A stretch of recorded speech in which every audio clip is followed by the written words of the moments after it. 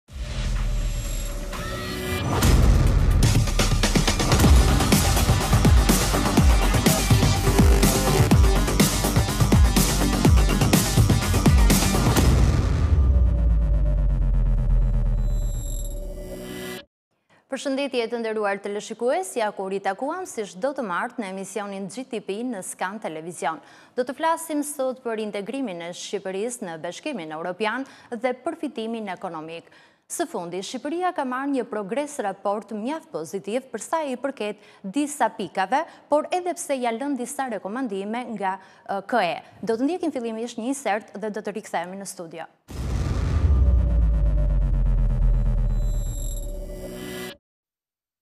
Komisioni Europian në progres raportin e fundit thekson përparimin e Shqipërisë për të mbyllur negociatat brenda vitit dy mijë e njëzet e shtatë. Shqipëria ka vazhduar të bëjë progres në reformat themelore veçanërisht në reformën gjithëpërfshirëse në drejtësi dhe procesin e Vetingut. dhe Komisioni Europian i del përkrah qeverisë për rrugën drejt Bashkimit Europian. Me këtë konkluzion, në këtë progres raport për Shqipërinë, Komisioni Europian mbështet ambicien e vendit tonë për integrimin. Nota pozitive në këtë progres raport ka marrë ekonomia.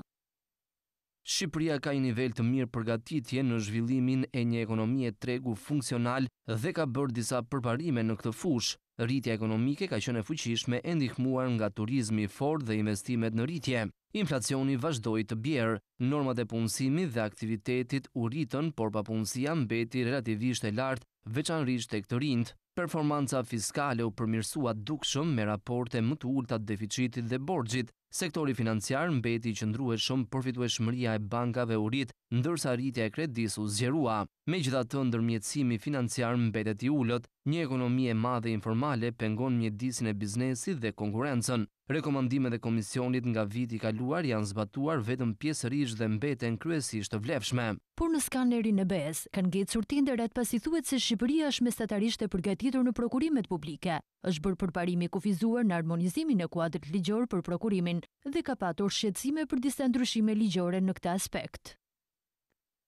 Strategjia e re e menaxhimit të financave publike për periudhën dy mijë e njëzet e tre dy mijë e tridhjetë u miratua në qershor të dy mijë e njëzet e katër-s dhe një strategji e re kombëtare kundër mashtrimit do të miratohet deri në fund të vitit dy mijë e njëzet e katër. Për të rritur përpjekjet, reformat e mëtejshme anti-korrupsion do të shfaqen në axhendën e reformave.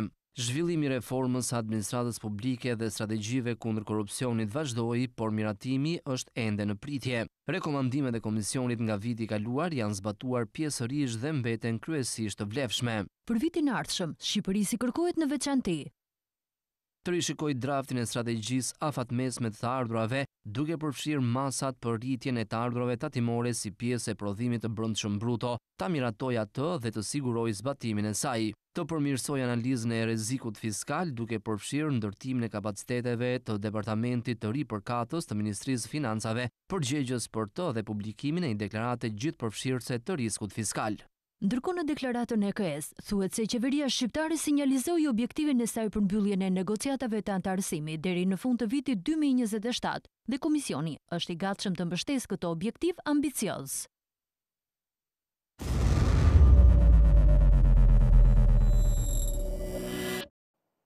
Do të diskutojmë në lidhje me këtë progres raport me zotin Roland Bimo, kënaqësi zoti Bimo që ju kam sot në studio. Faleminderit për ftesën. Zoti Bimo, është ish ambasador në shtetet e bashkuara të Amerikës, theksoj se ka qenë ambasador i parë i Shqipërisë në shtetet e bashkuara të Amerikës, Pas pesëdhjetë vitesh shkëputje të marrëdhënieve me një shtet të fuqishëm siç ishte Shtetet e Bashkuara të Amerikës, pra pas pesëdhjetë vitesh ju ishit ambasadori i parë i vendit tonë pas ndërrimit të regjimit. Gjithashtu zoti Bimo ka qenë ambasador edhe në Holandë, në Hungari, së fundi në Vjenë të Austrisë, gjithashtu edhe me shumë misione diplomatike në OSBE, në OKB, por edhe në disa organizata të tjera ndërkombëtare me seli në Vjenë. Zoti Bimo, kënaqësi që kam një diplomat karriere, ne jemi miq prej kohësh bashkë, faleminderit që do të diskutojmë sot për progres raportin. Si e komentoni ju këtë progres raport, çfarë note i vendosni? Faleminderit, faleminderit për ftesën dhe për prezantimin.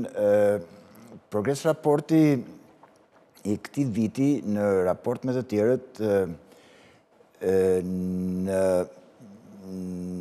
leximin tim ka një dallim në kuptimin e ndjenjës, të ti ndien që komisioni në këtë raport të trajton shumë më afër si një vend me një perspektivë të afërt anëtarësimi, sesa në raport me në raport me raportet e tjera të progresit që kanë qenë vitin e kaluar apo edhe më herët, ku notat negative për Shqipërinë kanë qenë shumë të forta dhe një lloj mosbesimi nëse Shqipëria do të ishte në gjendje që të bënte progresin e duhur për të për të ecur më tej. Ndërsa kur mbaron së lexuari këtë raport, ndonëse i gjatë, njëqind e ca faqe, natyrisht me shumë përsëritje, duke u zgjeruar në një temë apo në një tjetër, unë mbeta me përshtypjen që mm, gëzojmë një dashamirësi shumë më të madhe tashmë, që nuk është se është shkaktuar nga dashuria e rritur e burokracisë së Brukselit për Shqipërinë, Po janë rezultatet që janë arritur në Shqipëri në procesin e reformave që bëjnë të, i bëjnë ata njerëz të mendojnë që mundësia e Shqipërisë të arrijë atë formë që nesër pas nesër të jetë anëtare me të drejta të barabarta në Bashkimin Europian nuk është më një perspektivë shumë e largët, po është e realizueshme. Shqipëria ka hapur grup kapitullin e parë që quhet themeloret. Çfarë duhet të bëjë aktualisht Shqipëria? A është një proces i vonuar për vendin tonë? Hapja e asaj quhet grupi i parë, klasteri, është po të shikojmë terminologjinë e përdorur nga komisioni në të pesë këta kapitujt që janë hapur, shënohet që Shqipëria ka bërë një progres të moderuar, pra ka bërë një progres të mjaftueshëm, ndërsa në ato çështje për të cilat thuhet që ka një farë niveli përgatitje, që do të thotë që janë shumë mbrapa, në këto të pesta vlerësimi i komisionit është që është arritur progres i mjaftueshëm për të biseduar. Si e kuptojmë progresin e mjaftueshëm do të thotë që kuadri ligjor ekzistues në Shqipëri është pothuajse i plotë, institucionet që janë përgjegjëse për të zbatuar këtë lloj legjislacioni në këto pesë kapituj janë mjaftueshëm në vend, pra janë ngritur. Ajo që do duhet të bëhet për një periudhë, unë besoj fare të shkurtër kohe, është që të shikohen këto gjëra dhe të testohen në veprim se si funksionojnë, dhe këto kapituj unë besoj që mund të mbyllen shumë shpejt, të konsiderohet, Shqipëria të konsiderohet në këto 5 çështje, gjyqësori, politika e jashtme dhe çështjet e azilit, statistika, prokurimet, kontrolli financiar, është një gjë që do ecë, do të ecë shumë shpejt dhe pastaj të kalojmë menjëherë në atë grupin e dytë.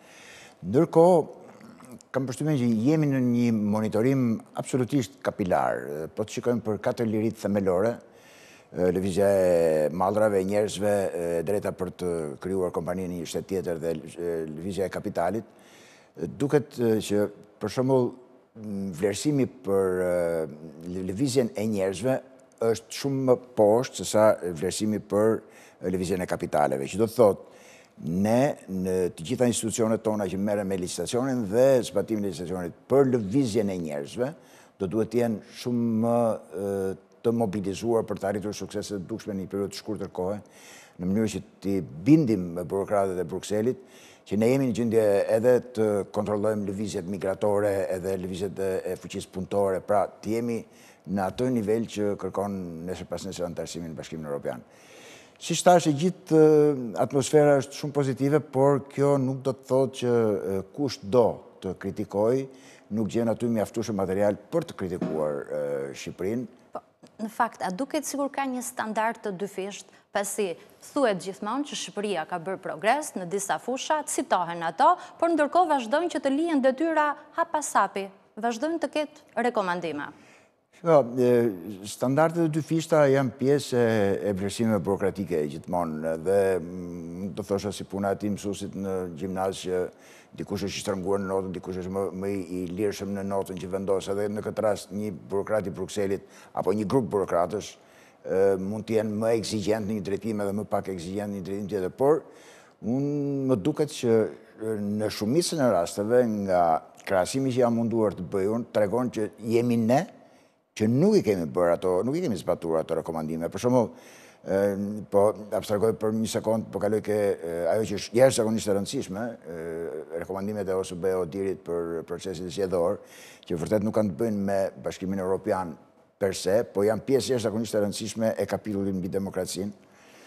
Dhe ne jo vetëm që nuk i kemi zbatuar rekomandimet e OSBE-ODIHR-it, por edhe, siç vihet në dukje dhe në raport, ka kaluar dhe afati i funksionimit të komisionit të përbashkët në parlament, që do të adresonte këtë problem, dhe nuk kemi arritur asnjë rezultat. Kështu që këtu e ke të vështirë të flasësh për standarde të dyfishta për sa kohë ne vërtet kemi shku në shkollë pa bo detyrat, domethënë, që që Në fakt, në raport citohej që do të mbështetej objektivi që ka qeveria shqiptare për integrimin në 2027-ën. E shikoni të arritshëm këtë objektiv? Patjetër, domethënë, objektivi është i arritshëm, ky afat, sepse për hir të së vërtetës ne kemi qysh nga viti 2000, që në njësitë tona administrative pranë çdo ministrie, pranë çdo institucioni që ka detyra konkrete në raport me integrimin, janë krijuar drejtoritë për përafrimin e legjislacionit, janë krijuar grupet e përkthyesve që janë marrë me përkthimin e legjislacionit europian dhe formulimin e atij shqiptar. Kështu që kemi njëzet e sa vjet që vazhdojmë dhe punojmë në këtë drejtim. Pra një punë e jashtëzakonshme pregatitore është aty. Ajo që mungon është e para mënyra jonë e e propagandimit, s'po gjej dot fjalë tjetër më të përshtatshme, mënyra jonë e bërjes së ditur të progresit që është arritur, dhe nga ana tjetër është dhe mënyra se si diçka humbet në përkthim është, është një lloj termi, pra a kemi bërë atë që duhet apo jo. Në këtë këndvështrim do duhet shumë bashkëpunim me Bashkimin Europian, dhe institucionet e tyre të specializuara për ta ngritur nivelin e kësaj pune përgatitore që ka bërë Shqipëria.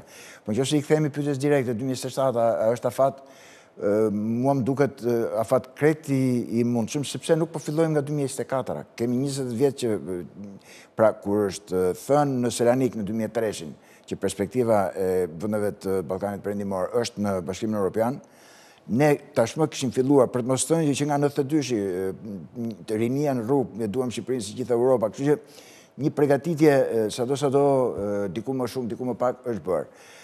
Ajo që ka qenë pengesë dhe unë shikoj që do vazhdojë të jetë një pengesë shumë serioze, është klima politike në vend, dhe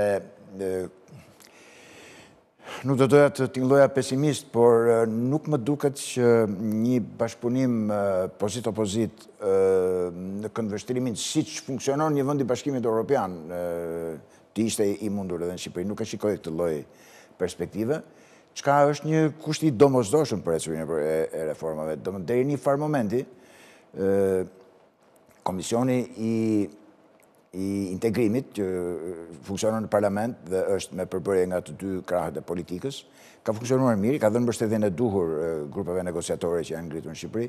Kohët e fundit vihet re një ngecje, një ngërç, një, një pamundësi funksionimi të institucion, të komisioneve dhe komiteteve, pra parlamenti duket si i paralizuar në funksionimin e atyre halkave që do duhen patjetër për të ndihmuar procesin e integrimit. Dhe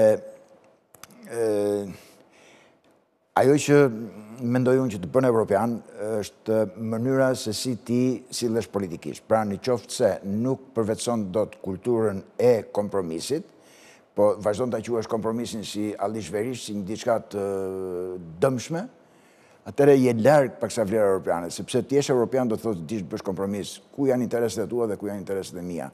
Po flas jo vetëm midis shteteve, por në radhë të parë brenda vendit. Grupet e ndryshme politike do të duhet të dallojnë çfarë i bashkon dhe jo çfarë i ndan, se për t'u zënë është kollaj. Kjo është edhe në shkallë botërore, edhe sot kërkohet bashkëpunim ndërkombëtar më shumë se kurrë për të përballuar problemet e ngrohjes së klimës, të terrorizmit, të kësaj inteligjence artificiale, mospërhapjes së armëve bërthamore, e tjera, e tjera, e tjera, rritjes së rolit të organizatave ndërkombëtare. Në kulmin e kësaj gjëje, kur do duhet më tepër bashkëpunim, ne shikojmë polarizim, përçarje, dhe se si mund të zgjidhet një problem pandemie, kur një patogjen, një mikrob të kërcënon si ty në Amerikë dhe mua në Europë, ndërkohë që ne secili shikojmë punët tona, atëherë patogjeni do na shkatërrojë të gjithëve E njëjta gjë, mbase edhe nuk shkon shumë si krahasim, po më duket se nuk është se çalon dhe aq shumë të thuash që të këqija dhe të mira të Shqipërisë i ndajnë si maxhoranca dhe opozita dhe në qoftë se vërtet do kishin vullnetin për të dalluar se çfarë i bashkon, me siguri që ka miliona gjëra që i bashkojnë dhe që do ndihmonin shumë në ecurinë e procesit të integrimit. Megjithatë, Gjëja nuk duhet parë bardhezi, është një proces nëpër të cilin do kalojnë të gjithë. Edhe, për shembull, unë kam shërbyer për një kohë të gjatë në Austri, dhe situata politike në Austri në periudhën midis dy luftrave, ka qenë goxha e ngjashme me këtë që kemi neve në Shqipëri, një polarizim ekstrem. Dhe një ditë të bukur, diçka ju shkreptiu në kokë dhe thanë që nuk është kjo rruga në cilën duhet ecur, pra duhet bashkëpunim. Sigurisht, dialog, bashkëpunim. Dhe gjatë gjithë periudhës së Mbas Luftës së Dytë Botërore, që në momentin kur u çliruan nga rusët apo u larguan trupat ruse nga Austria, ka një funksionim perfekt të grupeve të ndryshme politike me gjithë ekstremitetin e mendimeve. Sot, për shembull, në Austri ka fituar numrin më të madh të zgjedhjeve të vendeve në parlament, një parti që konsiderohet si ekstremit të djathtë. Megjithatë, vazhdojnë bisedimet, konsultohen. Pra, kultura e argumentit dhe debatit do duhet që të fuqizohet shumë në Shqipëri. Po t'i biem në aspektin ekonomik, ku duhet të fokusohet Shqipëria dhe cilat janë përfitimet? Bashkimi Europian është treguar vazhdimisht shumë gjeneroz me Shqipërinë dhe me vendet si Shqipëria në kuptimin e ndihmave financiare apo dhe konsulencës për organizimin e shtetit edhe të institucioneve të tij. Ne në modelin ekonomik duket qartazi që kemi zgjedhur të bazohemi tek turizmi. Për të zhvilluar turizmin ne do na duhen rrugë, hekurudha, porte, aeroporte, në mënyrë që dhe në të tërën e vet me atë që quhet koneksioni, pra lidhja, ndërlidhja. A është ky modeli më i mirë, nuk mbetet që ta gjykoj unë. Unë do doja shumë që Shqipëria të prodhonte, jo vetëm të shërbente, të prodhonte qoftë edhe në sektorin agrar, Ne kemi pas një traditë edhe në blektori edhe në bujqësi, mirë do ishte që diçka të prodhonim, por të kthehemi te ndihma që jep Bashkimi Europian dhe ke projekti i rritjes ekonomike me 900 e sa milion euro që janë... 922. Që janë angazhu, që janë alokuar për Shqipërinë. Kjo e thënë është shumë e bukur kur e dëgjon, por ka punë kolosale brenda për të qenë në gjendje për ta absorbuar, sepse mm, më kujtohet një ministër i jashtëm i një vendi mik që ka vizituar Shqipërinë dhe kudo e, e ndiqte thënia ne dim të bëjmë shumë gjëra, ne kemi shumë mundësira, po s'kemi para. Dhe miku mbasi e dëgjoi në 4-5 vende këtë zyra në presidencë, në kryeministri, ministri të jashtme, ministri të ekonomisë, duke vënë këmbën në shkallët e avionit që do largohej nga Shqipëria, u kthe dikujt dhe i tha, Zoti ministër, i tha, e kam dëgjuar shumë shpesh, po mbani mend një gjë, që bota sot vuan për mend, nuk vuan për para. Para ka sa duash. Dhe më kujtohet shpesh kjo histori, sidomos në këtë kontekst, kur janë gati një miliard euro në dispozicion të Shqipërisë, sa do jemi ne në gjendje të paraqisim projekte bindëse dhe ekonomikisht feasible, ekonomikisht me interes dhe me leverdisi për Shqipërinë dhe për Bashkimin Europian. Dhe unë do doja shumë që të shikoja një ekonomi shqiptare të jo vetëm të integruar, po të ingranuar në ekonominë e Bashkimit Europian, ato të Italisë, apo të Greqisë, të Austrisë, apo të Polonisë. Pra, Çfarë dimë të bëjmë ne më mirë që të shërbejmë si pjesë komplementare e ekonomisë së atyre vendeve në mënyrë që të jenë ekonomitë të lidhura me njëra-tjetrën. Dhe ekonomitë e lidhura prodhojnë një situatë sigurie, sepse e thënë fare kuptueshëm, Në qoftë se në Shqipëri ka dikush interesa ekonomike nga Franca apo nga Gjermania, nesër pas nesër në qoftë se bie një bombë në Shqipëri shqetësohet dikush në Paris edhe në Berlin sepse do kishte interes dhe pra integrimi ekonomik, lidhja ekonomike është shumë me rëndësi edhe për çështje të pavarësisë e të sigurisë së vendit. Nuk kam parë ende një prirje të qeverisë shqiptare se ku ka ndërmend të aplikojë dhe çfarë projektesh ka ndërmend të promovojë me këto 900 e sa milionë euro, 1 miliard euro që janë vënë në dispozicion nga Bashkimi Evropian. Do doja shumë që në gjithë histori të kishte edhe ekspertizën e, bashkim, e, e Komisionit Evropian, se ku është më mirë për Shqipërinë që t'i e, investojë. Shkojshin këto projekte, po. po. Intuita më thotë që projektet e infrastrukturës do jenë ato që... Energjetika, gjë që ishte një që u cilësua dhe u theksua që turizmi, energjetika kanë bërë progres, sektori fiskal, bankar. Këtu nuk besoj se ne do kemi probleme apo telashe me këtë gjë, por duke qenë se në raportin që përgatiti ish-kryeministri i Italisë për pak kohë, ish-drejtori i Bankës Qendrore Evropiane, Mario Draghi, vendos theksin shumë në atë që quhet tranzicioni i gjelbër, pra në kalimin e energjisë nga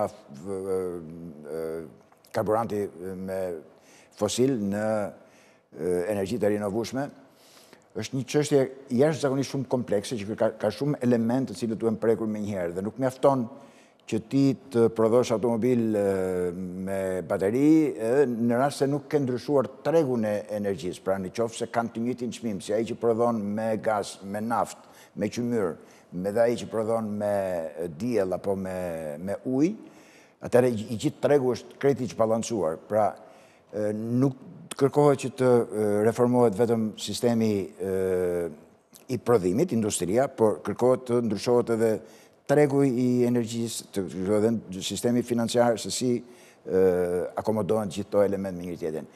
I rashë gjatë, ndoshta për të dalë në këtë element, që pjesa e tranzicionit drejt energjisë së rinovueshme është një detyrë që ne do të duhet ta kryejmë, që të jemi në të njëjtën linjë... Interlidhur, njësoj me gjithë rajonin.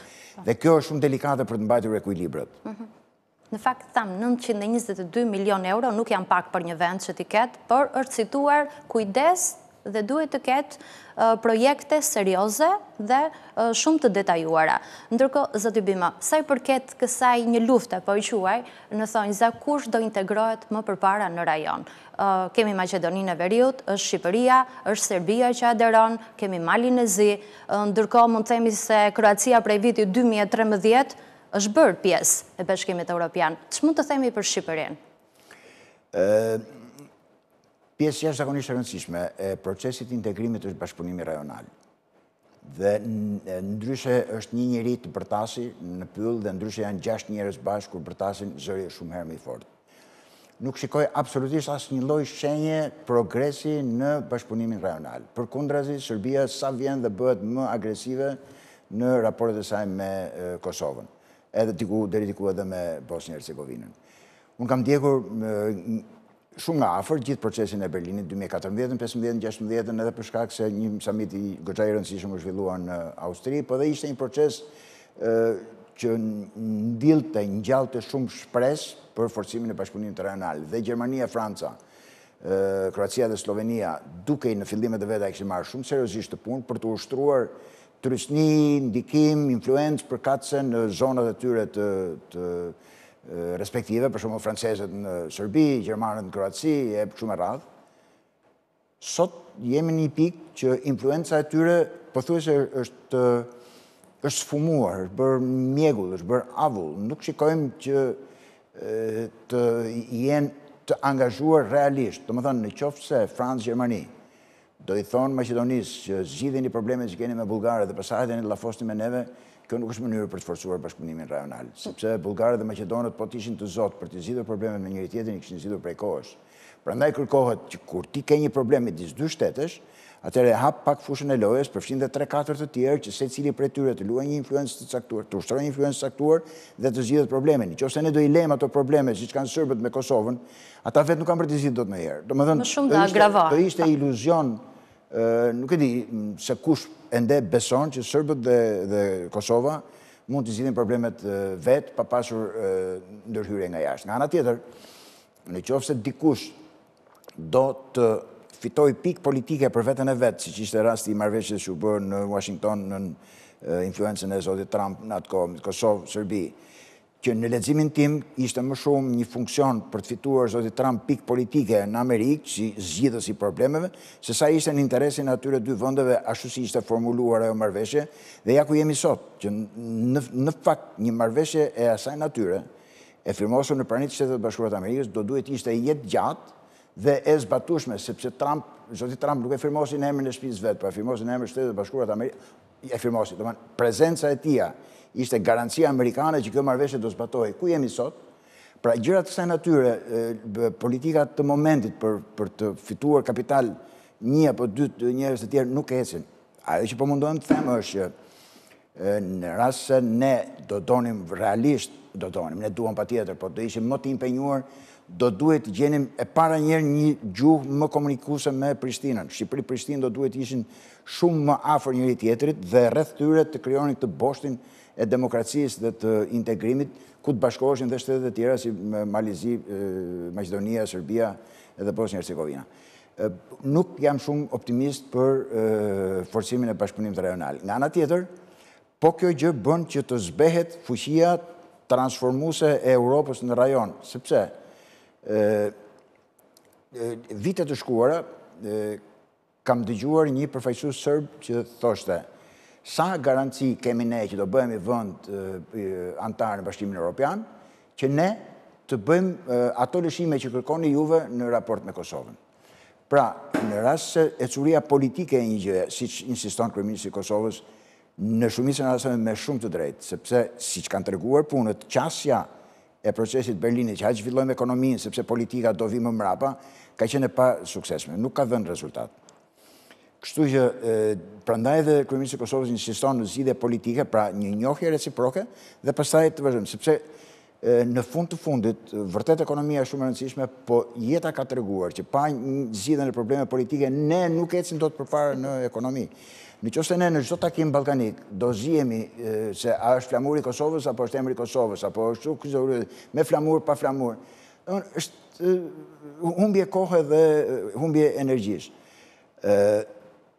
Ajo që më bën disi jo dhe aq optimist sa ç'jam nga natyra, është gjendja në cilën ndodhet Bashkimi Europian në këto momente. Nga sa e ndjek unë, nuk frymëzon aq sa në të kaluarën dhe kujtohem që dhjetë vjet përpara, influenca e Bashkimit Europian kishte një energji transformuese, pra vetë perspektiva e integrimit, siç kam dëgjuar një udhëheqës shqiptar që tha ne duam anëtarësimin në Bashkimin Europian për të shpëtuar nga vetja jonë. Pra, tendencat autoritariste që qarkullojnë në Shqipëri në momentin që ganxhohesh, ankorohesh në një bashkësi si ajo e Bashkimit Europian, do zbatosh ca rregulla loje që i frenojnë instinktet autoritare në një vend. Në momentin që ndodhet Bashkimi Europian nuk e ka më, e ka humbur këtë forcë transformuese. Në qoftë se Hungaria do një gjë tjetër, Gjermania do një gjë tjetër, Franca një gjë tjetër, Italia një gjë tjetër, gjithmonë e më shumë po thuhet po ku po shkon po Bashkimi Europian. Një shpërndarje. Forcat që po e kritikojnë Bashkimin Europian janë bërë shumë më të fuqishme se sa forcat që janë në favor të zhvillimit të Bashkimit. Nga ana tjetër nuk duhet me qenë dhe aq pesimist sepse mm, diku kam lexuar që Bashkimi Europian i ngjan biçikletës që po nuk u pedalua rrëzohet. Edhe në këtë rast Bashkimi Europian është një proces që shkon nga kriza në krizë, pra zgjidh një krizë dhe has një krizë tjetër, kështu që mundet që të jetë kjo e fundit që duke ecur nga kriza në krizë zgjidh njërën dhe pastaj tjetrën me radhë. Por në kontekstin që po flasim, Bashkimi Europian ka qenë një proces paqeje, pra u nis si një iniciativë paqeje. Dhe kishte mbështetjen e jashtëzakonshme të Shteteve të Bashkuara të Amerikës në fillimin e viteve 50. Mbështetje që kam përshtypjen sa vjen dhe Është gjithmonë më e pakualifikuar, domethënë, dhe fakti që Shtetet e Bashkuara të Amerikës imponojnë taksa dhe tarifa, dhe një politikë ekonomike që ka bërë Volkswagen-in të iki gjithnjë në Amerikë nga Gjermania. Njerëzit Gjermanët e shikojnë me sytë e tyre që nuk është më ajo politikë Amerikane që ka qenë më përpara, ku ishin dy shtylla që mbanin rendin botëror, Shtetet e Bashkuara të Amerikës dhe bashkimi Europian që mbanin konkurrencën me, kudo, me gjithë forcat e tjera që funksionojnë në botë. Nuk e kemi më këtë situatë. Gjithsesi shihet aspekti përfitues që do të kenë shtetet nga integrimi dhe sa optimist jeni ju, zoti Bime për integrimin brenda 2030-ës për Shqipërin. Pasi thamë që duhet një ndërlidhje, pasi fondet janë aty, duhet t'i marrim, dhe nuk janë pak, bashkimi Europian jep gjashtë miliard euro për vendet e Ballkanit Perëndimor. Retorika që përdoret, ndoshta termi retorikë mbase ka ndikim negativ, po diskursi publik të bën optimist. Pra, edhe deklaratat nga krerët e Bashkimit Europian, edhe nga vendet e rajonit, për shembull në mënyrë figurative dhe pak me ironi, dikush thoshte që e vetmja gjë për cilën janë dakord Vuçiç dhe Kurti është bashkimi, interesi për t'u integruar në Bashkimin Europian. Pra, Bashkimi Europian mbetet ajo gjëja e përbashkët që na lidh, pra, ecja drejt Bashkimit Europian. Por unë mendoj që shumë njerëz në Europë ose e kanë harruar ose anashkaluar problemin që mund të krijojë Ballkani në rast se nuk përshpejtohen hapat e integrimit. Domethënë, Po të kujtojmë, Maqedonia ka marrë statusin e vendit kandidat në momentin kur ishte në kulmin e luftës gati, pragun e luftës civile. Ukraina në momentin që është në gjendje lufte, pra, pra duket sikur ky bashkim Europian do një shtytje të madhe, një, një katalizator dhune, që të marri vendime shumë të rëndësishme. Më bën të mendoj që në fillim të viteve, po themi, vitet 2000, 2010, Në Shqipëri, në Kosovë ka pas një lëvizje goxha radikale për të bërë që gjithë shqiptarët të jetonin në një një shtet. Mos harrojmë lëvizja e Albin Kurtit është vetëvendosja. Dhe në Shqipëri në ato momente ka qenë një lëvizje kuqezi e drejtuar nga Kreshnik Spahiu, që për një moment rezultonte shumë lartë në sondazhe. Pra, kishte një lëvizje në rininë shqiptare që synonte për sa kohë nuk do të kemi zgjidhje tjetër, ne shqiptarët bëjmë mirë të jetojmë në një shtet. Dhe me shumë mënçuri, do thosha unë, kjo situatë u navigua drejt asaj që në fund të fundit ne të gjithë do shkojmë në Bashkimin Europian, kështu që pse do duhet patjetër të jemi në të njëjtin shtet, kur mund të jemi në të njëjtën ombrellë. Dhe kjo ka zgjidhur problemet e Austri, Itali, Francë, Gjermani, e më thuaj në Europë ka me dhjetra, me qindra raste të kontradiktave ndëretnike që i ka zgjidhur çatia e Bashkimit Europian. Fare mirë, kjo çati mund të zgjidhë edhe këto probleme Problemi është që një ditë do i zgjidhi. A do i zgjidhi duke i çuar njëherë në konflikt dhe pastaj të zgjidhi apo do i zgjidhi, do i zgjidhi pa i çuar në konflikt. Të gjitha kemi dëgjuar kryeministrin Rama që thotë u desh Putini që të përshpejtohet integrimi i Shqipërisë në Bashkimin Europian. Është shumë e hidhur, shumë sarkastike, po ka një metaforë brenda që këto shtete ngaqë janë, ku di unë, me shumë inerci, do duhet patjetër që të ndodhë një gjë e madhe që të zgjohen nga gjumi e të thonë e prit se kjo qenka problem shumë i madh. Dhe sot që flasim, Pak kush në Europë e ka frikën që Ballkani mund të rindizet, sepse mendojnë që është problem i zgjidhur, domethënë Shqipëria ka zhvillim goxha, por nuk është kështu. Domethënë duhet patjetër që të ketë një spunto drejt integrimit, në mënyrë që të rritet edhe prestigji më tej i Bashkimit Europian në këtë. Shpresojmë pasi edhe progres raporti i fundit ishte pozitiv. Madje edhe kryeministri i vendit, zoti Rama e ka cilësuar si një nga progres raportet më pozitive dhe që tha e kam lexuar nga fillimi deri në fund. Pra një skaner i plotë që i është bërë Shqipërisë në të gjitha sektorët, ekonomik, në pjesën sociale, politikën, ka lënë mjaft rekomandime, shpresojmë që ato të plotësohen sa më parë. Zoti Bime, unë të falenderoj që ishit në studio. Faleminderit. Të nderuar teleshikues, do të ndjekim pikërisht deklaratën e kryeministrit Rama në lidhje me këtë progres raport dhe do takohemi në pjesën e dytë të GDP.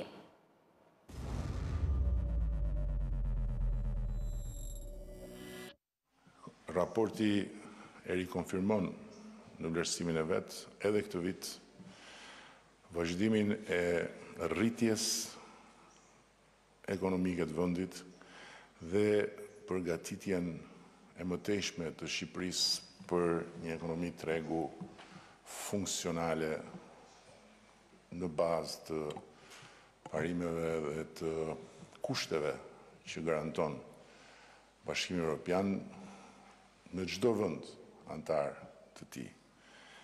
Rritja ekonomike ka qenë një rritje e fortë, thotë raporti, siç është e vërteta, dhe po ashtu Mbështetja e kësaj rritje në rritjen e turizmit dhe në investimet në rritje është një fakt.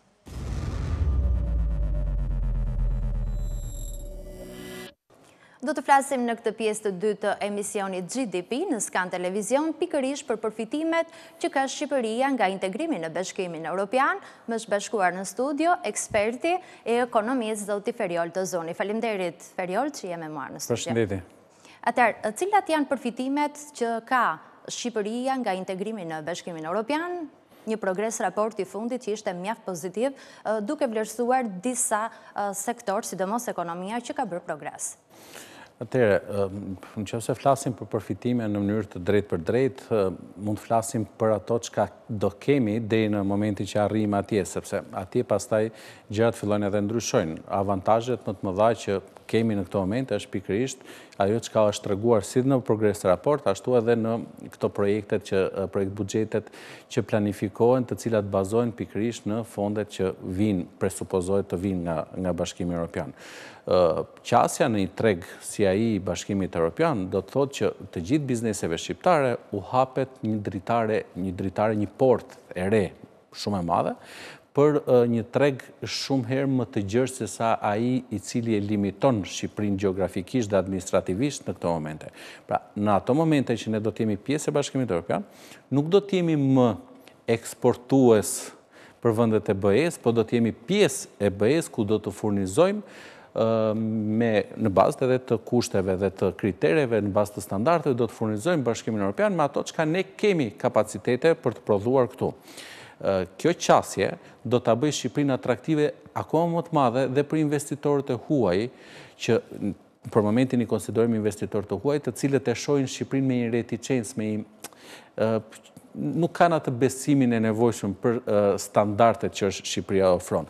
Duke marrë këtu parasysh mjedisin politik, mjedisin ekonomik, përshtypjet që lihen tek të tjerët, por them se deri në ato momente, shpresoj që të mos jenë shumë të largëta, ne të arrijmë atë stabilitetin e nevojshëm për të qenë për të dhënë një një benefit, një atu më të madhe asaj familje të madhe për të cilën flasim të gjithë, Bashkimin Europian. Për dy mijë e njëzet e shtatë, nëntëqind e njëzet e dy milionë euro, nuk janë pak, po janë specifikuar katër fusha kryesore.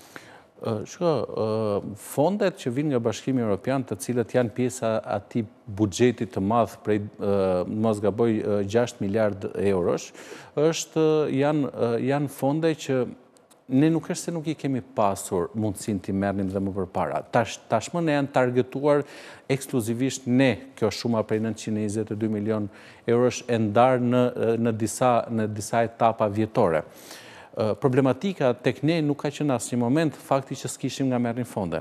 Ka qenë problematika më e madhe, aftësia jonë për t'i përfituar këto fonde. Dhe po të lexoni edhe rekomandimet që vijnë nga nga Bashkimi Europian apo edhe planifikimet që ata kanë bërë, i vihet një theks shumë i madh mënyrës së formimit apo mënyrës së projektimit të strategjive për përthithjen e këtyre fondeve dhe ku këto fonde realisht do të shkojnë.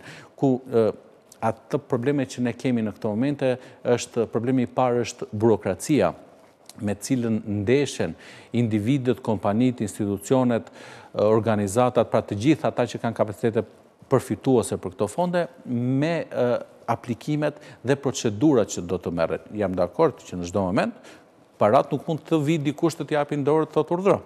Por burokracitë në të cilat implikohet apo implikohen institucionet shtetërore e bëjnë pak më të vështirë këtë situatë dhe Është edhe mosbesueshmëria. Gjithmonë kemi ecur me parimin që nuk aplikojmë për fonde të Bashkimit Europian se nuk na i japin. Pa e provuar fare, sepse gjithmonë kemi ecur me idenë që kam dëgjuar. Kjo duhet të bjerë poshtë ky mentaliteti që kam dëgjuar. Duhet ta provojmë. Duhet të provojë gjithsecili që ka projekte, të mirë shkruara, sepse është një nga atutë kryesore të të të marrjes së fondeve për projekte, ë të provojë të aplikojë. E gjitha kjo provë vjen si rezultat edhe i mungesës së informacionit. Pra, po të shohim sot, po të bëhet një studim i i thjeshtë që ne e kemi bërë sadopak tek universiteti ku jam i punësuar, shohim që ka një mungesë të theksuar informacioni për mënyrën se si aplikohet për këto fonde. Këtu është roli kryesor i institucioneve shtetërore të cilët duhet të ngrenë qoftë edhe drejtori, qoftë edhe grupe pune për të informuar publikun apo target grupet e nevojshme. Qoftë dhe trajnimin se si do të formulohen, si do të prezantohen këto projekte. Pikërisht, pra, informimi vjen në të gjitha këto etapa. Unë kam qënë, kam jetuar pikërisht të njëjtën periudhë ku jemi tani me Shqipërinë, e kam jetuar në në Rumani, kur ishte Rumania në të njëjtën situatë. Dhe informimi niste pikërisht nga bankat e shkollës. Pra, ne kishim në të vazhdueshme në bankat e shkollës informim se si bëhen aplikimet për për fondet e Bashkimit Europian ku vinin nga institucione shtetërore, vinin nga kompani private të cilat ishin të ideuar edhe të krijuar pikërisht për të ndihmuar për të asistuar në përthithjen e këtyre fondeve. Dhe shohim në që ndër vite Rumania ka pasur të paktën në në raste të caktuara edhe nëntëdhjetë e pesë për qind të fondeve të tërhequra dhe të vëna në punë në vendin e tyre. Kurse ne kemi vuajtur gati qind për qind përfitues i të gjitha fondeve. Ne kemi vuajtur pikërisht për informimin. Të gjithë jemi të gatshëm sepse normalisht është një benefit, po. sidomos për industri të caktuara siç është turizmi, siç është bujqësia, edhe arsimi Këto fonde janë një frymarrje shumë e madhe që mund t'i jepet institucioneve, kompanive, qoftë edhe industrisë në vetvete. Në pikën ku flasim, më të orientuara drejt përthithjes së këtyre fondeve kemi vetëm institucionet arsimuare, të cilat kanë dhe kapacitetet për t'u vetëtrajnuar, por janë edhe më të prira për atë që quhet researching, kërkimi, qoftë kërkim shkencor, qoftë kërkim tregu, pra kemi një problematikë, një ngërç këtu, të cilin, Them se ndoshta edhe me pak shtysë, meqë nisën edhe negociatat dhe kapitujt e diskutimit, ky ngërç duhet të kalojë në një kohë sa më të shkurtër që të jemi të aftë t'i marrim këto fonde dhe të mos i djegim apo të mos i japim mundësi vendeve të tjera që të marrin nga fondet tona, sepse janë të alokuara për ne. Kur në fakt, po vetëm për dy mijë e njëzet e pesën, financimi i BE-së pritet të jetë sipas Ministrisë së Financave dyqind e shtatëdhjetë e nëntë pikë shtatë milionë euro, për të vijuar në dy mijë e njëzet e gjashtën me treqind e katërmbëdhjetë pikë tre milionë euro dhe dyqind e pesëdhjetë e një pikë dy milionë euro për dy mijë e njëzet e shtatën. Vlerat janë të kënaqshme. Nuk janë vlera wow, nuk janë Edhe po të shohim sektorët apo industritë ku jepet prioritet pikërisht për tërheqjen e këtyre vlerave, janë pikërisht sektorët dhe industritë të cilat në vendin tonë, jo vetëm vendin tonë, gjithandej, po vendin tonë kanë shumë nevojë. Pra, kemi arsimin për cilin diskutuam, normalisht që kemi atë stabilitetin ekonomiko-financiar që këto fonde duhet t'i japin vendit duke aplikuar për sektorët të cilat kanë kapacitete eksportuese. siç është për shembull bujqësia. Bujqësia është një nga sektorët me të cilët ne jemi krenuar vite, ka mbajtur peshën më të madhe të ekonomisë në gjithë historinë e Shqipërisë si republikë, si shtet. Dhe po të shohim vitet e fundit është sektori i cili po vuan më shumë, po çalon. Nuk ka më atë peshë në GDP-në e vendit. Normalisht sepse po avancojnë dhe po zhvillohen dhe sektorët e tjerë. Pra po flasim për industri turistike e cila po kalon me ritme shumë të larta të ardhurat që i sjell ekonomisë. Por bujqësia është ajo që duhet të vazhdojë të mbajë një peshë të mirë sepse një industri turistike pa një bujqësi është thjesht i ofron turistëve të huaj produkte të cilat nuk i prodhon këtu brenda, gjë që e ka kapacitetin dhe duke i kombinuar të dyja dhe duke përfituar nga këto fonde, që me thënë të drejtën Ministria e Bujqësisë ka dhënë mundësi shpesh për aplikime për fonde dhe grante të ndryshme, ka pasur projekte të bollshme për këto punë, por i kthehem prapë, burokracia i ka bërë që njerëzit të jenë mosbesues dhe duhet të kemi dhe parasysh një gjë tjetër, që të paktën flasim për sektorin e bujqësisë ku personat të cilët merren me këtë sektor, pra janë ata që motori i këtij sektori, nuk kanë kapacitetet e nevojshme për të marrë, për t'u angazhuar në mënyrë të drejtpërdrejtë për fonde. Pra, ti si institucion shtetëror, pushtet lokal, pushtet qendror, pak rëndësi ka, mund të strukturohet kjo gjë, duhet t'i vish në ndihmë. Bëhet një gjë e kësaj natyre nga AIDA, si drejtori, si institucion. Ishte vlerësuar në progres raportin e fundit Aida, po, për rolin që ka. Sepse Aida është ajo që i ka dhënë deri më sot në 100% të, domethënë, çfarë fondesh ka marrë bujqësia, i ka marrë duke u asistuar pikërisht nga ky institucion. Kemi këtu edhe fondin për zhvillim. Kemi këtu edhe institucione të tjera që japin grante të ndryshme. Kemi BERZH-in, kemi Bankën Botërore, por ajo çka ne kemi fokus dhe ne synojmë Bashkimin Europian, duhet të mësohemi pikërisht me strategjinë për të përthithur fonde që në fund fare, në një formë apo në një tjetër, ne na takojnë Me të drejtë apo jo, se edhe ky është një debat shumë i madh, por i kemi mundësitë për ta marrë. Institucionet shtetërore, ndoshta në kombinim, në bashkëpunim dhe me sektorin e arsimit, pra me me universitetet. Kemi një universitet bujqësor që ka mbajtur peshën më të madhe të arsimit në në të paktën 60-70 vitet e fundit. Dhe në qoftë se ky institucion arsimor në bashkëpunim me institucionet shtetërore arrijnë të bashkëpunojnë me njëri tjetrin, mund të bëhen gjëra shumë të mira. Shqipëria nuk është vend i madh. Kapacitetet i kemi mjaftueshëm për veten tonë. Fusha me potencial të madh ka jashtëzakonisht, turizmi, kemi energjinë, kemi... Kemi eksportuar, historikisht kemi eksportuar produkte bujqësore, por nga ana tjetër, kemi importuar po të njëjtat produkte bujqësore që kemi eksportuar. Pra, ky është një paradoks shumë i madh, që me stabilitetin që duhet të krijohet nga institucione të ndryshme, përfshirë këtu Ministrinë e Financave, Ministrinë e Bujqësisë, atë të Ekonomisë, atë të Zhvillimit, më tutje teknologjik, janë të gjitha këto që duhet të ndërthuren me njëra tjetrën për të arritur pikërisht tek ato fonde që në fund fare janë një bonus edhe për ekonominë në tërësinë e vet.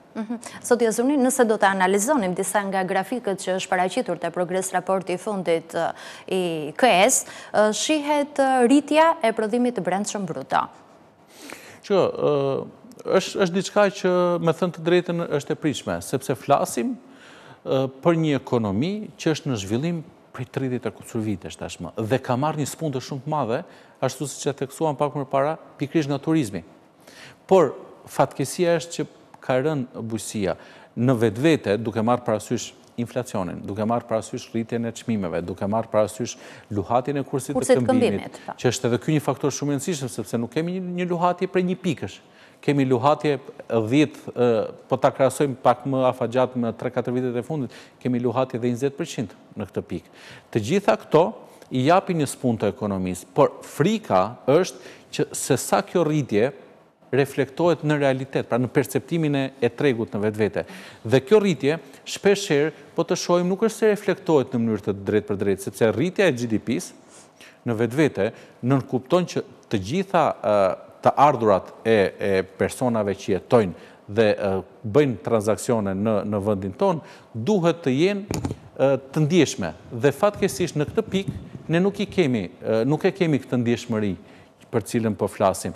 Dhe kjo i i faturohet automatikisht të gjitha të gjitha problematikave që kanë sjellë, duke filluar që nga periudha e pandemisë, duke vazhduar më pas me luftën në Rusi dhe Kosovë që në vetvete shkaktoi një kaos në të gjithë ekonominë, në të gjithë zinxhirët e e transportit, transmetimit të të produkteve dhe më pas Tashmë së fundmi që kemi dhe problemin që në vetvete është të kursit të këmbimit, që në vetvete është një përfitim për monedhën tonë, sepse forcohet një monedhë, për buxhetin e shtetit është një përfitim sepse borxhet i ka të marra në euro, kur euroja ishte me një vlerë të caktuar dhe sot nuk ka më atë peshë euroja dhe duke u konvertuar me monedhën vendase i krijon një avantazh e buxhetit të shtetit, por të gjitha këto të mira normalisht që kanë edhe Pasojat që lënë anash kanë të gjithë gjithmonë ka ato të ashtuquajtura dëme kolaterale mhm. anësore. Është mirë që që jemi në rritje sepse tregon që ekonomia xhiron, vazhdon edhe funksionon, por nuk duhet t'i bazohemi aq shumë fort sepse perceptimi në fund fare rritja duhet të perceptohet nga populli. Mhm. Në fakt edhe për investimet e huaja, Është thënë se ka vijuar të rriten. Shiko, tek investimet e huaja, u bënë të paktën dhjetë vitet në të cilët gjendemi, dhjetë vitet e fundit, që investimet kanë filluar të rriten, gradualisht, nga pak, por të sigurta. Pra, nuk kemi, po të po të shohim edhe statistikat që ofron Instati apo Banka Botërore përtej statistikave të... Progres raportit fundit. Të progres raportit, do shohim që kemi nuk kemi asnjë investim të shkuar dëm, pra i cili ka dështuar. Kanë qenë të gjitha investime të cilat kanë sjellë në vetvete kanë mbartur një peshë të mirë të ekonomisë, të industrisë ku ato janë janë fokusuar. Pjesa më e madhe e investimeve vijnë normalisht në infrastrukturë. Por kemi kemi investime të huaja të cilat janë fokusuar vitet e fundit në turizëm po të dalim, është, është e thjesht, mjafton që të dalim në Tiranë dhe shohim brende të ndryshme hotelesh që deri më përpara Shqipërinë e kishin me kryq, pra e kishin në listë të zezë, sepse të kesh investime, të huaj, të kesh të tentosh të përthithësh investitorë të huaj brenda vendit, duhet të kesh një mjedis ë ë goxha komod, qoftë ky mjedis ligjor dhe politik, te ligjori ok, te politiku vazhdojmë vuajmë fatkeqësisht akoma me të gjitha këto situata, pra krijojnë konfuzion, të kesh një mjedis ekonomik dhe financiar stabil, monedha vëndase është relativisht stabile, monedhat e huaja luhaten dhe të kesh një një mjedis pune aty ku do të investosh, një mjedis industrial të kënaqshëm. Po të shohim, nuk kemi shumë investime në industri përpunuese. Kemi investime në industrinë turistike. Pse? Sepse industria e shërbimeve kërkon këto mjedise që të mos jenë 100% kapacitetin e vet, po të jenë mjaftueshëm të ndërthurura dhe komode në mënyrë të tillë që investitori të vijë dhe të jetë i kënaqshëm. Kemi bumin turistik, prandaj po hapen hotele. Të mos kishim... Pra, po por është cituar dhe kjo në këtë progres raport, madje thotë se punësimi është rritur në 2023-shin, veçanërisht në sektorin e shërbimeve, atë që ju thatë, por është cituar mungesa e fuqisë punëtore. Kjo është një nga problematikat të cilat po rrotullohemi si macja duke kontrolluar bishtin e vet rreth e qark sepse nuk po arrijmë t'i gjejmë, jo ne, nuk po arrin t'i gjejë pothuajse gjithë Europa një zgjidhje kësaj problematike. Nuk kemi vetëm ne në Shqipëri probleme me me fuqinë punëtore. Pra, nga çfarë informacionesh dhe nga studimesh që kemi bërë, ka probleme të mëdha Italia, Franca, Gjermania, që janë fuqi, janë fuqi industriale, ka probleme të mëdha Anglia, Amerika, e cila Mirë apo keq, ka një treg gri të fuqisë punëtore që punojnë s'pa letra, pa dokumentacionin përkatës. Por dhe ata po e vuajnë. Ne, si vend i vogël, ndoshta mund ta kishim pak më të kontrollueshme këtë situatë, por sipas censusit, na kanë ikur pesëdhjetë mijë persona në vit në dhjetë vitet e fundit, që do të thotë pesëdhjetë nga këta pesëdhjetë mijë persona, Të paktën gjysma prej tyre janë fuqi punëtore aktive. Sidomos të rinjtë. Ka rënë edhe nga nga ana demografike, ka rënë dhe numri i i forcës punëtore aktive, edhe për arsye, edhe përveçse për lëvizje demografike, pra lëvizjet jashtë vendit, edhe për arsye të faktit që lindshmëria njëzet vite më përpara, e cila do të formonte atë krah pune aktiv sot, ka qenë më e ulët se sa dy dekada më përpara. Kemi një numër më të lartë personave që kanë dalë në në pension, pra që nuk janë, ata mund të jenë aktivë si krah pune, por nuk janë për industritë moderne të ditëve të sotme. Pra, nuk mund ta angazhosh një pensionist në turizëm, Është shumë, janë të pakta pozicionet që mund të angazhosh. Industritë në cilat ne jemi fokusuar, kanë nevojë për krah pune të fortë dhe të që ka mundësi të përballojë presionin. Turizmi është i bukur. Po përza i do kualifikim. Kërkon angazhimin. Po. E para, ne nuk po, po gjejmë do të krahun e punës, se për ta kualifikuar do e kualifikojmë. Por po të shohim... Është gjithë një zgjidhje duke i marrë nga Bangladeshi, nga vende të ndryshme. Është tentuar, nuk është të paktën në industrinë turistike në Shqipëri duke marrë parasysh gjithë mjedisin kulturor, traditat, zakonet, gjuha, e folura, gatimi. Nuk është aq e thjeshtë që të integrosh një të huaj që vjen nga një vend shumë i largët, siç mund të jetë Lindja e Mesme, Azia, por edhe Afrika, ta integrosh që të bëhet pjesë e kësaj industrie në Shqipëri. Ata janë operacional, logjistik, pra gjëra që nuk kanë kontakt të drejtpërdrejtë po me me me turistin, me atë që merr shërbimin. Por prapë puna më e madhe duhet të bëhet nga krah pune shqiptar, vendas, në rastin më të keq nga rajoni.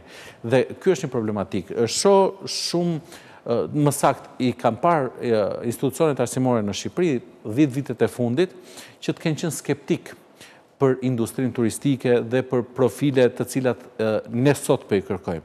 Dhe kemi qenë të orientuar gjithmonë drejt profileve apo drejt profesioneve jurist, ekonomist, të gjithë duam të bëhemi drejtora ne shqiptarët, e kemi këtë maninë, por fakti që sot ne kemi arritur në pikën ku nuk po kërkojmë më drejtora, po kërkojmë krah pune operacional, të cilët të jenë në kontakt të drejtpërdrejtë me me marrësin e shërbimit, këtu po e çalojmë. Katër pesë vitet e fundit kemi institucione të arsimit të lartë të cilët kanë filluar të riorientohen me kurrikulat e tyre, pikërisht drejt arsimit profesional, sepse në fund fare ty të duhet një person i cili të ofron shërbimin. Nuk të duhen njëqind ideatorë, mjafton një ideator. Puna është kush do e shërbejë. Dhe shpesh herë, edhe sivjet, ne e kemi përjetuar shumë mungesën e fuqisë punëtore në industrinë turistike, por nuk duhet të harrojmë që janë kalbur produktet bujqësore në në ara, në tokë, në pemë. Pse? Sepse fuqia punëtore edhe aty ka rënë. Pra, askush nuk do më të punojë në bujqësi, sepse nuk e shikon si një sektor apo industri të përfituese apo me të ardhme. Në qoftë se ato fondet për t'iu rikthyer çështjes së fondeve, në qoftë se ne i trajnojmë popullsinë në mënyrën e duhur, që ata të shohin që ka interes dhe ka vazhdimësi, atëherë do ripopullohet e gjithë industria bujqësore, që do t'i sjellin një atu shumë të madhe industrisë turistike dhe në vetvete do të krijojnë një benefit shumë të madh për ekonominë shqiptare. Pa dashur ta zgjas, kemi rastet Greqinë, pra flasim Bashkim Europian, Greqi, Spanjë, Portugali. Greqia një vënd bujqësor shumë i madh. Prodhon edhe për ne. Por nga krahu tjetër është një nga epiqendrat e turizmit në rajon. Nuk është rastësore kjo gjë. Kemi të njëjtin gjë për Turqinë jashtë BE-së. Kemi Spanjën, një vënd turistik fantastik, i ka të gjitha atje, por me fokus në bujqësi. Pse? Sepse kjo bujqësia shtyn përpara edhe ekonominë. Pra, ne kemi qenë të keq orientuar, fatkeqësisht, të paktën dy dekadat e para postkomuniste, të cilat po mundohemi t'i riparojmë tashi. Është kollaj të bësh dëm, po është e vështirë që ta çosh në drejtimin e duhur situatën. Edhe me ndihmën e Bashkimit Europian, por edhe me vizionet që kanë pasur disa drejtues të institucioneve shqiptare kemi arritur që të stabilizojmë disa pika, por po nuk u bëmë të paktën institucionet shtetërore dhe drejtuesit, po nuk u bë një trup i vetëm që të ecë përpara, është e vështirë që të bëhet kjo punë me individe apo individualizma. Sa i përket partneritetit, shkëmbimet eksport-importat ishte një pjesë e trajtuar gjerësisht edhe në progres raportin e fundit për Shqipërinë. Bashkimi Europian vijon që të mbetet një partnere kryesore sigurisht, si për importat, ashtu dhe për eksportet, Bashkimi Europian normalisht, sepse, shiko, e theksova pak më para, fokusi ynë është atje. Pse është atje? Sepse atje janë të ardhurat, pra çdo gjë rezumohet tek të ardhurat. Atëherë, në qoftë se unë do të prodhoj këtu, do të prodhoj për një treg i cili ka kapacitet financiar. për të më justifikuar punën time. Prandaj një pjesë e prodhuesve këtu, qofshin prodhime industriale, qofshin prodhime bujqësore, nuk shërbejnë fare për tregun shqiptar, po prodhojnë dhe eksportojnë direkt për Bashkimin Europian. Në të njëjtin këndvështrim, duke ecur me idenë e reciprocitetit, Ne kemi filluar që të marrim një sërë shërbimesh apo produktesh nga Bashkimi Europian, qoftë edhe me kosto pak më të lartë se sa nga destinacionet tjera. Furnitori ynë kryesor ka pas qenë Turqia, si shtet individualist. Por, duke parë që fokusi është këtej matanë, dhe në qoftë se një produkt, dhe mund t'i krahasojmë, në qoftë se një produkt është me të njëjtën vlerë si në Turqi, si në Bashkimin Europian, Jemi të orientuar drejt Bashkimit Europian. Kjo është edhe një strategji qeveritare, politike, sepse në fund fare, ashtu siç e theksova, do, do hedhim sytë andej nga kemi qëllimin, pra drejt Bashkimit Europian. Ajo çka më shqetëson pak në përsa i përket import-eksporteve, është që kanë filluar të bien eksportet Vlera të vogla, po e këto janë shenja. Pra nuk mund të, të lemë të shohim se çfarë do ndodhë. Ë kryesisht në në produktet bujqësore dhe kam përshtypjen ë do më kërkojë pak më shumë kohë për një analizë më të thellë të kësaj, po përshtypja e parë është që ë kjo rënie sadopak e vogël i faturohet në mënyrë të drejtpërdrejtë mungesës mungesës krahut të punës. Mm -hmm. Po sa i takon raportit gjinor, citohej dhe në progres raportin e fundit, në raport një pabarazi dhe nuk ishte pak, kishte shumë diferencë. Shiko, pabarazitë gjinore, apo lufta për pabarazinë gjinore është gjithandej. Ne nuk jemi aq keq, aq zi sa e bëjmë. Ka problematika, kemi nevojë për spunta të tjera, por ka shtete edhe brenda Bashkimit Europian që janë edhe më të pabarabartë në aspektin gjinor se sa ne.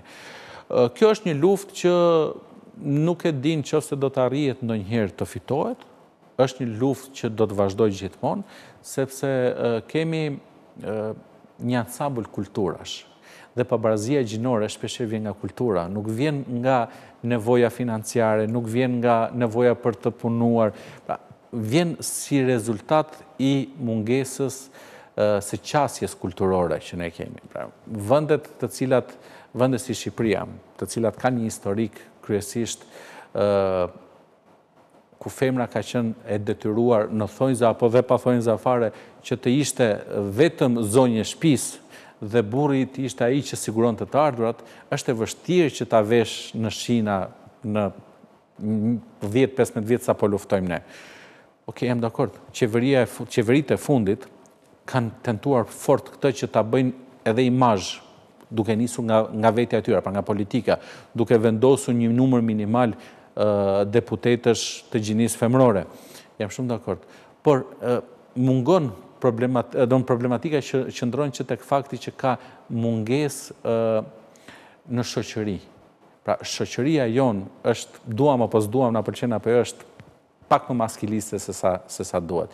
Dhe ne, është është shumë e thjeshtë, në qoftë se do të punësojmë dikë, shofim një femër dhe një mashkull, në qoftë se është punë operacionale, themi ky sepse nuk ka angazhime familjare, pra nuk do rrisi fëmijët, nuk do marri leje lindje, nuk do bëj këtë, pra i mendojmë të gjitha në afatgjatë dhe i drejtohemi gjithmonë të punësojmë dikë, të gjinisë mashkullore.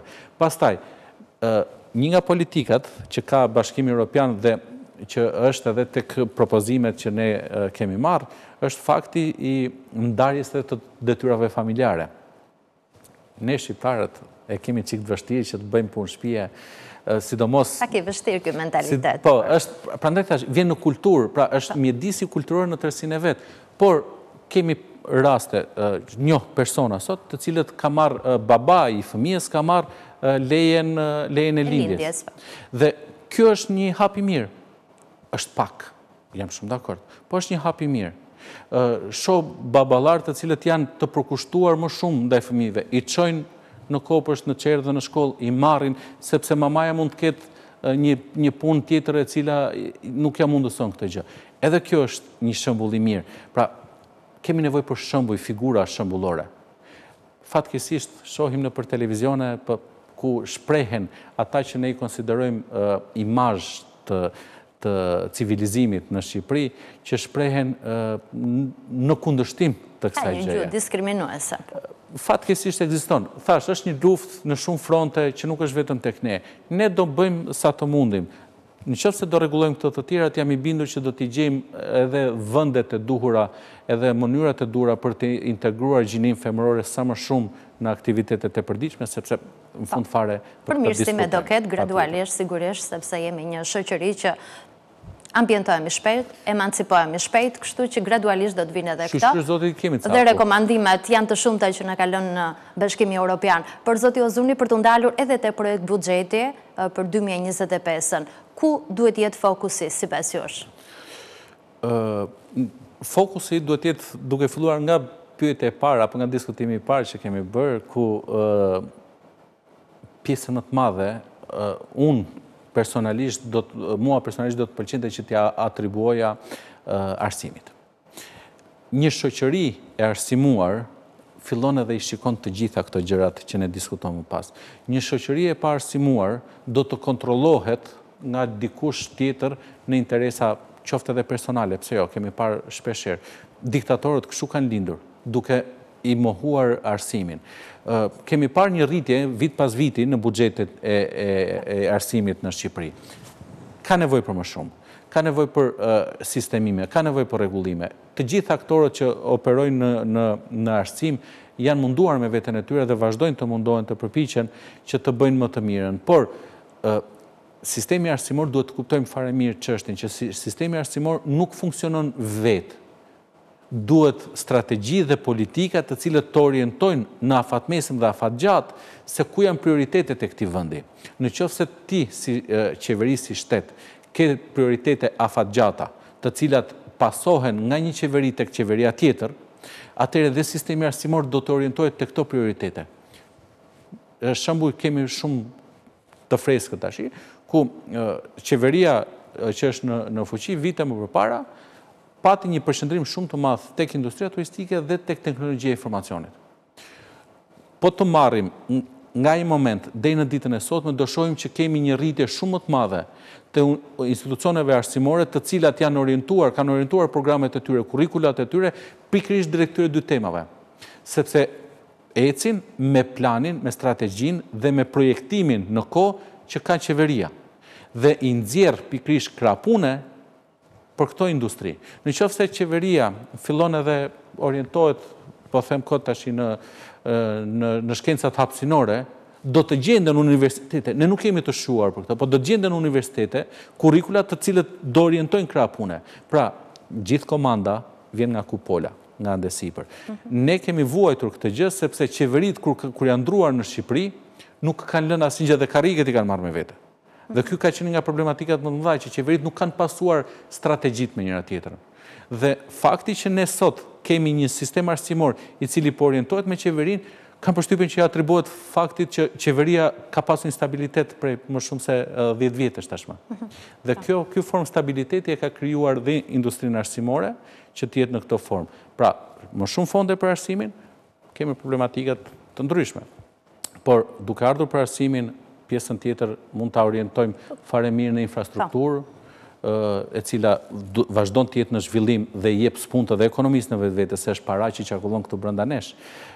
Normalisht, bujqësia është faktori tjetër dhe ajo që kemi pasur fokus të paktën në 4-5 vitet e fundit, që është turizmi në të gjitha hallkat e tyre, duke përfshirë këtu dhe duke i dhënë një rëndësi shumë të veçantë të transporteve. Ndërkohë, tani kemi dhe një adresim tjetër drejt sfidës së pensioneve, reformës për ta. Shiko, aty nuk mund, atë nuk mund ta konsiderojmë si pjesë e investimit. Normalisht është parashikuar në buxhet një rritje në mos gaboj diku tek 16 apo 17 milionë euro, e cila ka sjell pakënaqësi në shumë raste. Duhet të marrim parasysh që duke rënë krahu i punës i cili kontribuon në ekonomi, kontribuon në në buxhetin social, nuk mund të rriten dhe pensionet në atë lloj forme. Ka pas mundësi të bëheshin shumë gjëra. Jam shumë dakord. Në fakt si buxhet dy mijë e njëzet e pesë ka gjashtëqind milionë euro janë më tepër. Janë më tepër, po ka dhe pensionistë më shumë. Po.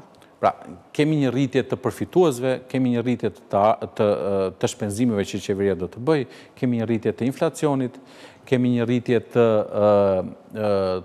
apo kemi një diferencë që krijohet dhe nga kursi i këmbimit, i cili në vetvete rrit shpenzimet për jetesën normale dhe automatikisht Ti duhet si qeveri duhet t'i krijosh kushtet minimale një pensionisti që të jetojë në mënyrë decente, në mënyrë njerëzore në këtë në këtë vend. Është një nga aspektet që ka nevojë për ndërhyrje. Mos gaboj javën e kaluar dhe kryeministri ka i është adresuar pikërisht bizneseve të cilët mundohen të shmangin deklarimet reale të të pagave të punonjësve të tyre duke i krijuar një gropë shumë të madhe buxhetit për pensionet më pas, sepse nga diku do dalin që të transmetojnë diku tjetër. I rikthehem faktit që informimi, kultura e informimit duhet të ekzistojë, shumë persona, shumë kompani, biznese të vogla, e bëjnë këtë deklarimin e ulët apo jo real, edhe se kanë mungesë informacioni. E kam përjetuar vetë në në shumë raste këtë këtë situatë. O, nuk e dija. Pra, mungesa e informacionit. Informimi publik është ai që ndërgjegjëson individin. Një individ i pandërgjegjësuar do veprojë se si ta mendojë. Dhe kjo si ta mendojë krijon pikërisht këto pakënaqësi. Për t'ju rikthyer në mënyrë të drejtpërdrejtë pyetjes tuaj, kemi dhe një rritje të buxhetit për për bonuset e fundvitit. që është një një gëzim plus për kategorinë, por kam përshtypjen që rritja e të ardhurave të vazhdueshme tek pensionistët duhet të jetë me ritme pak më të larta, duke qenë se jemi duke duke synuar Bashkimin Europian dhe një person me pension me pensione standarde në Shqipëri nuk mund të mbijetojë një jete e cila do të krijohet, një nivel jetesë e cila do të krijohet nga hyrja në Bashkimin Europian, në të ardhmen e afërt apo të largët sa sido qoftë ajo. Ndërkohë pesëdhjetë milionë euro do të shkojnë për procesin e rindërtimit pas tërmetit të dy mijë e nëntëmbëdhjetës, për t'u përmbyllur edhe ky proces. Ëë, nuk e di në qoftë se do të arrijmë të përmbyllim, sepse Projektimi i këtij pesëdhjetë milionë euroshi ka qenë që në buxhetet e para dhe kanë qenë të kalkuluara me çmimet, me tarifat që kanë qenë në asaj kohe. Kam përshtypjen ashtu siç ndodhi dhe edhe sivjet që ky pesëdhjetë milionë eurosh do të shtohet. Ë është një gjë që duhet mbyllur. Pra, është e vërtetë që ato para mund të kishin shkuar për për diçka tjetër, por nuk duhet të harrojmë që kemi një shtresë shumë të rëndësishme në nevojë e cila është goditur në mënyrë të drejtpërdrejtë nga, nga tërmeti dhe që po vazhdojnë po e vuajnë. Unë shpresoj që të mbyllet në këtë buxhet të parashikuar, por sido që të jetë është një situatë që duhet mbyllur, pra është një, një vrimë e zezë që i ka ngelur popullsisë shqiptare, qeverisë shqiptare, buxhetit shqiptar, e cila duhet mbyllur një herë e mirë dhe duhen stabilizuar këto problematika në mënyrë që fokusi pastaj të orientohet në mënyrë të drejtpërdrejtë dhe unike në ato në ato drejtime në të cilat ky vend ka nevojë në momentin që flasim. Zoti Uzuni, unë ju falënderoj që ishit me mua në studion e GTP, në Skan Televizion dhe për të gjithë analizën që kemi bërë së bashku sot. Faleminderit. Faleminderit për. Të nderuar teleshikues, ishte ky emisioni GTP në Skan Televizion, mirupafshim të martën e ardhshme.